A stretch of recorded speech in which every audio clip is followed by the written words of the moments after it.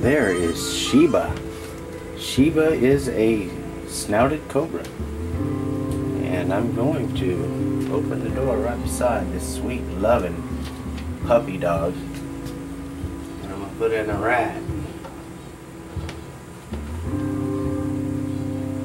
Which I'm thinking Sheba will like when I do it.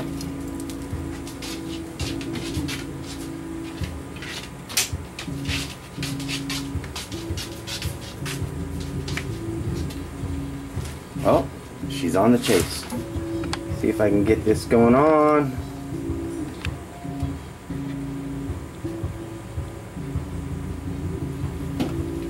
Oh, the chase is on. I hear the squeaking. it wasn't me squeaking, it was the round squeaking, honest. See how fast that little snake moves. so different than some of the uh, ambush predator snakes like Gaboon vipers and uh, as you can see down lower in a different enclosure there is a puff adder. Now puff adders they uh, are more of an ambush predator. They'll sit there and she'll wait for that prey to step right in front of her face. Then she'll strike it. But with cobras like a snouted cobra a banded snouted cobra which are my favorites, they'll chase after the thing. So I don't think it's been, I don't think it's been bit yet. There we are. Now I think it's been bit. I heard another squeak.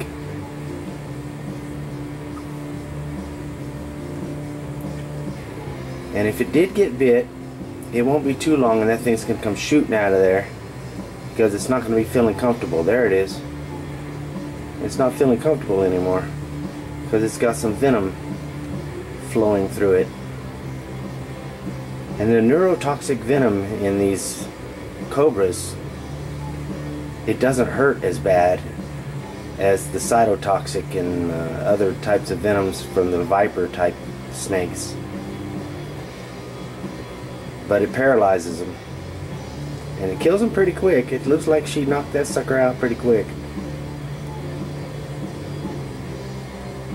So that's cool. And Sheba loves to eat.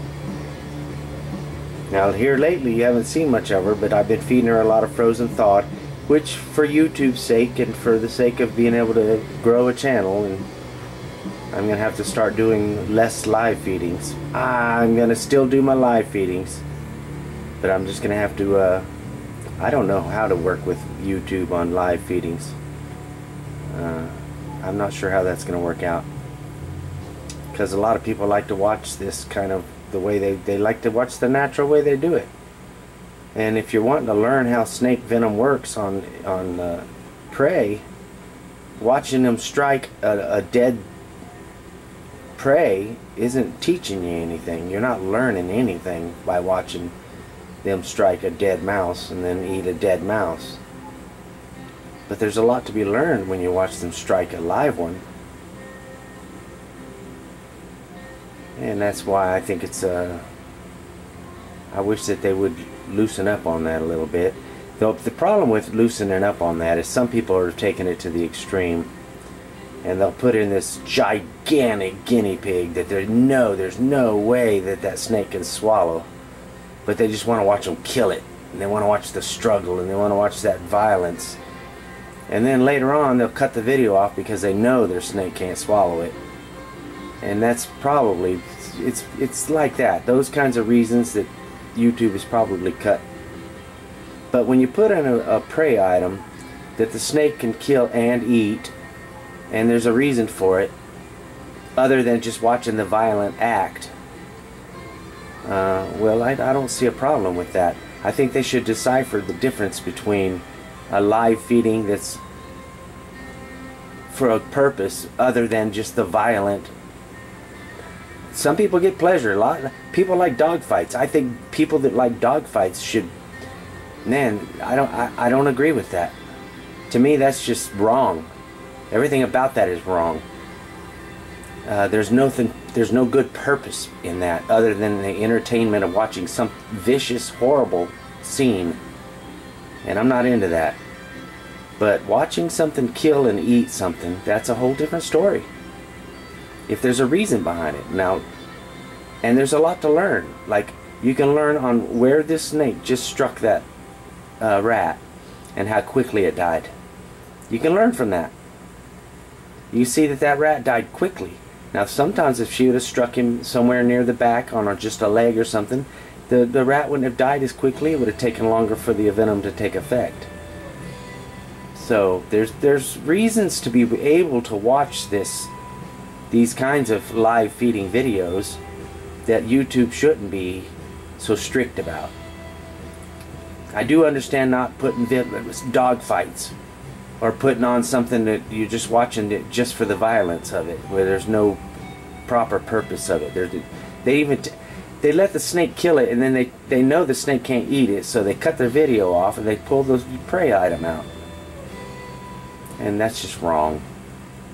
People, you know, you can watch that kind of stuff and then still watch the snake eat it. Like, watch.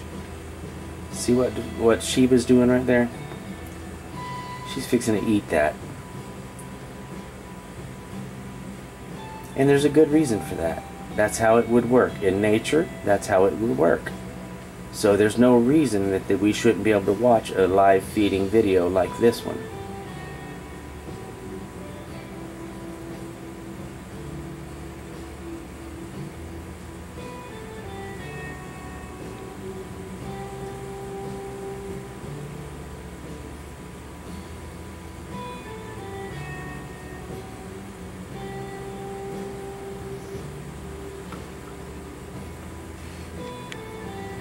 What a beautiful snake.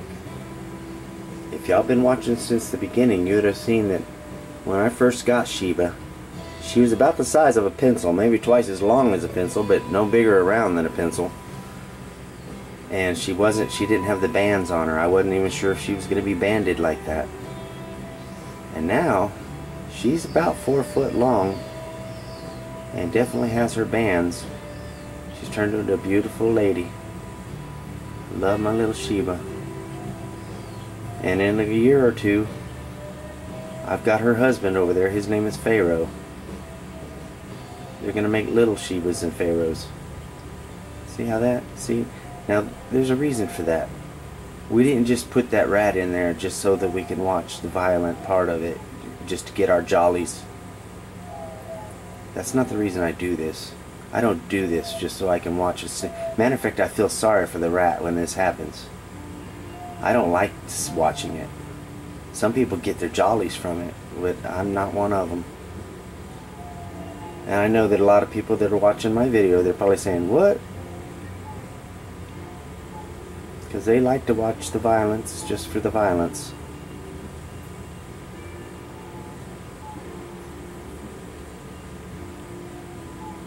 But I like to watch the whole thing from beginning to end.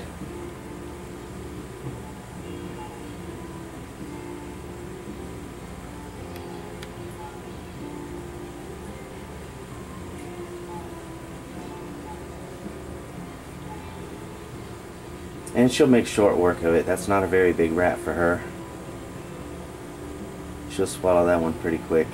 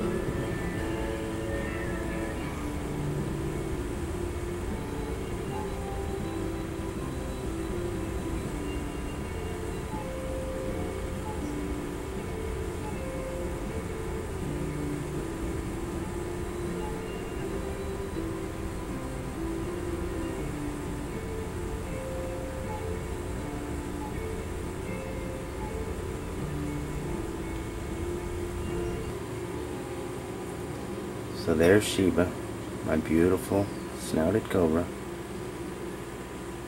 doing what she would have done in the wild.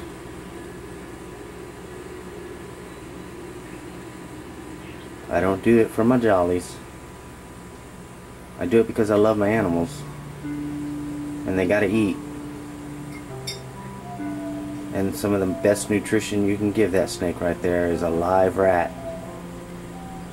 And so I'm gonna take good care of my babies. And I'm gonna give them live rats. Alright. Love y'all. Bye.